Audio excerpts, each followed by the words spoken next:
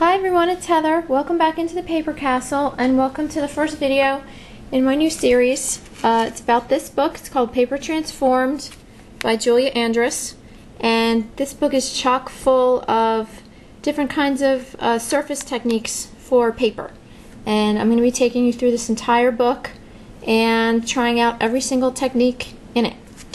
So, for today, I'm going to do the first one, and it's called Basic Water Marbling. I don't know how successful this is going to be um, because I tried some experiments yesterday and they didn't turn out very well, but we'll see what happens. Um, yesterday I used cold pressed watercolor paper, 140 pounds. Uh, the author says that watercolor paper or rice paper is supposed to work best for this technique because they're supposed to grab onto the pigments. Um, but my paper wasn't grabbing very well. So I have some that's untreated and some regular cardstock that's untreated. And I have some that I treated here. You can't obviously see what I treated it with, but I treated it with a mordant solution, which is in this container right here. A mordant solution is basically just um, you use two cups of hot water and two tablespoons of this. This is called alum. It's a salt. You can find it in the spice aisle in your grocery store.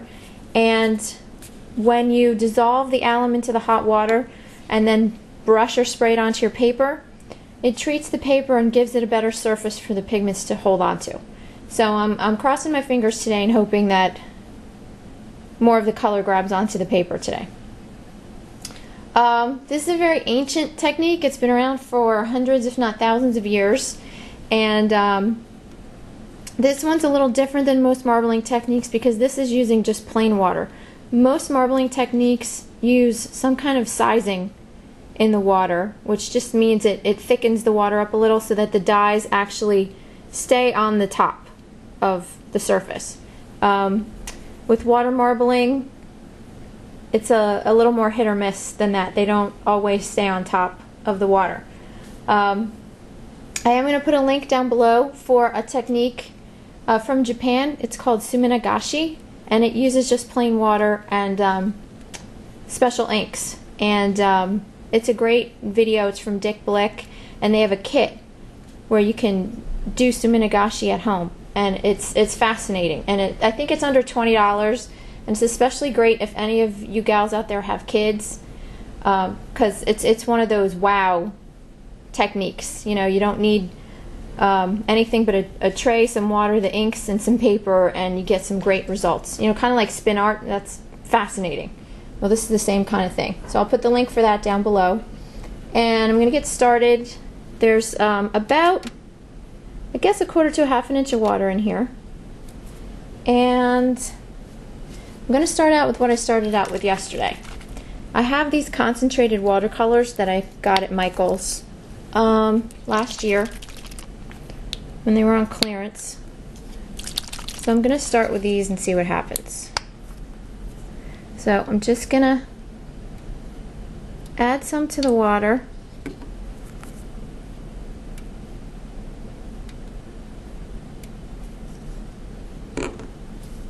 And I'm going to show you with the untreated paper. I'm going to show you what happens with it. And then I'll try and show you with the treated paper. Okay, this is untreated. The author says to put it straight down onto the bottom of the surface. And then pull it up.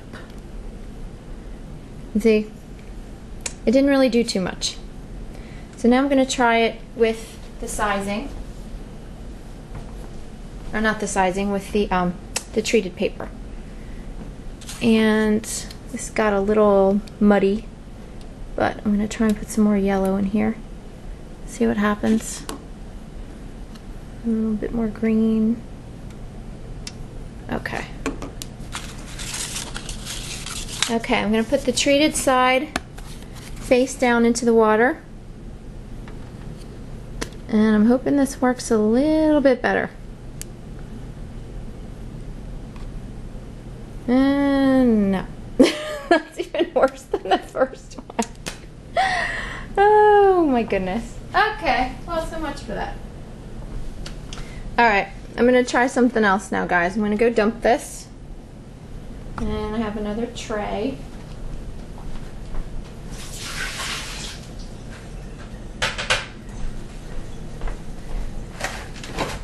Okay, so those don't work very well, but um, I'm gonna fill this next container with water. And I'm gonna try some food coloring. See how that goes.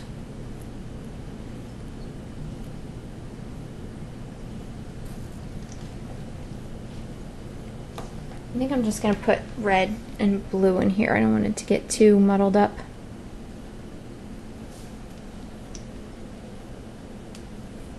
Okay, and again, I'm gonna add, I'm gonna use one of these pieces that I treated. See if I get any better results with this. So here we go, cross your fingers.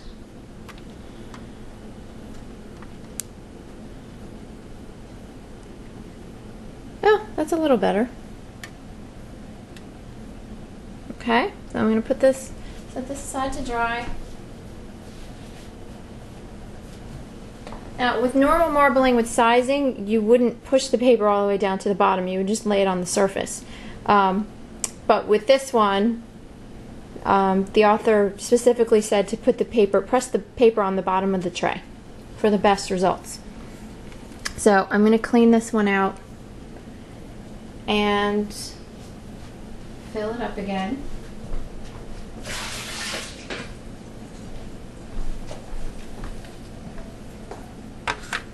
Okay.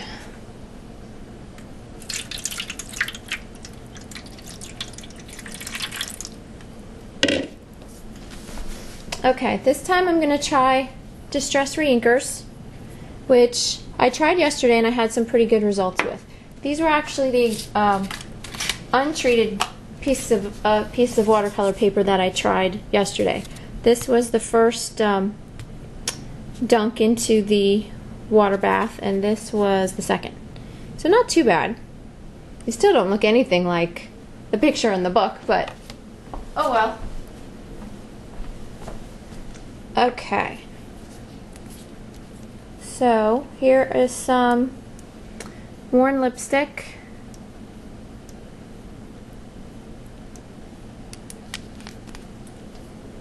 And some tumbled glass.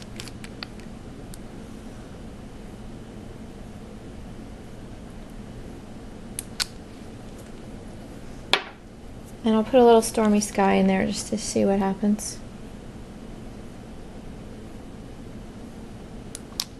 Okay. Now, I'm going to grab a skewer. I don't know how this will work with these, but I just kind of want to see if I can get more of a pattern in here. No, not really. They're going to get all muddled up. Okay. Well, I gave it a shot. Okay, so this is with the treated cardstock. And dunk it in, press it down until you feel that it's wet and pull it up. And it's okay. Not fantastic. I'm going to try it with a piece of cardstock now that I treated and see what happens. I treated some cardstock last night. Put a few more drops in here first.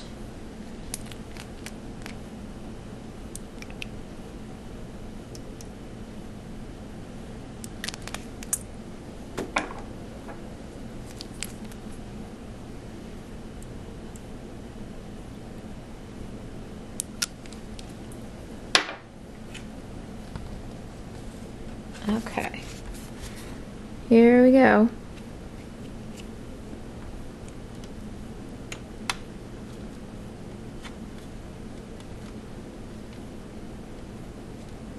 And let's see what we get. Oh, that's pretty nice. Not too bad. Still doesn't look anything like the picture in the book, but at least there's some color on it.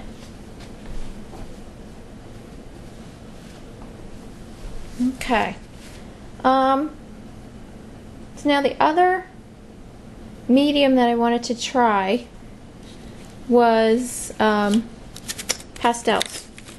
Um, Julia, the author, said that you can scrape pastels onto the surface of the water and that should work also.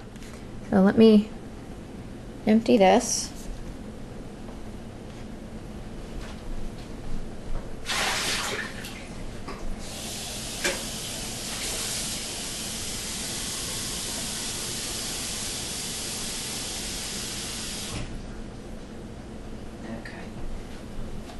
Sorry guys, I really need to learn how to edit. Maybe going to learn how to edit before I... Whoops! Oh, I just spilled water everywhere. Maybe I can learn how to edit before I make my next video. But I'm going to take my craft knife and scrape a few of these colors over the surface of the water.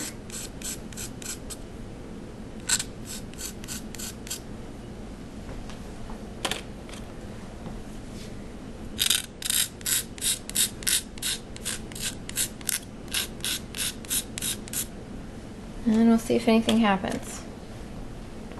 I can't even see that first color anymore.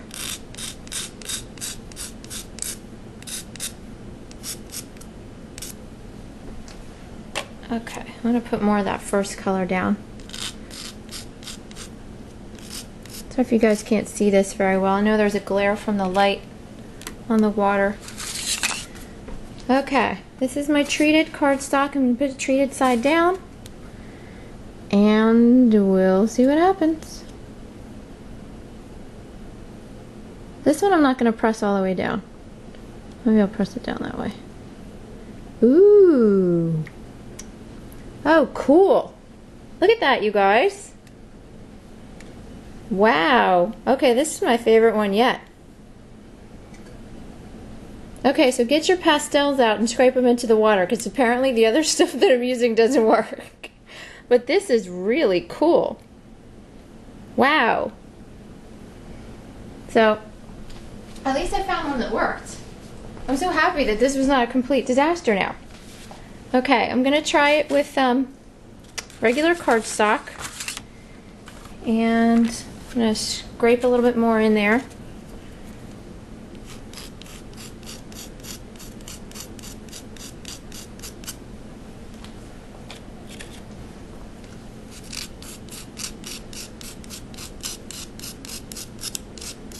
Scrape your um, your watercolors, you know, your pan watercolors in here too. And that might work. You might even be able to um, shave little, you know, pieces off your watercolor pencils and try that also. Alright, I'm going to try and mix this up a little with this skewer. So I don't have all the colors in one spot. Okay. Now this is treated cardstock. Put it treated side down.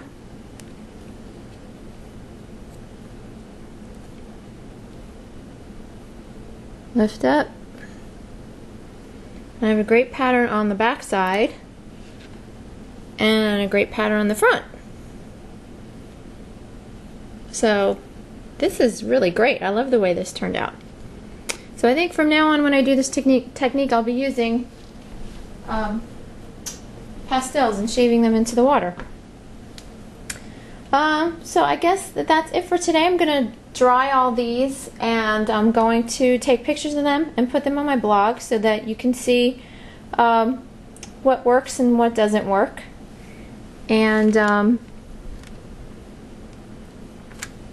I guess I will see you guys maybe later this week. We're doing another marbling technique with um, with sizing this time, so hopefully that one will go a little bit better. Oh, I forgot to do my watercolors. I was going to do these watercolors, but I know they're not going to come out as dramatic as the pastels did, so I don't even think I'm going to try that. I might try that off camera and then um, if it's anything, you know, really jaw-dropping, I'll show you guys.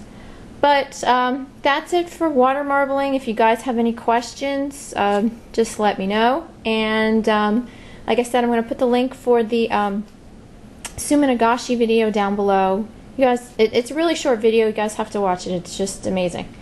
And um, I guess that's it. So thanks for watching, everyone. I hope you play along. And if you do do this and you get better results than I did, please, you know, share, let me know, send me pictures, do a video, uh, because I would really like to, you know, get better at this.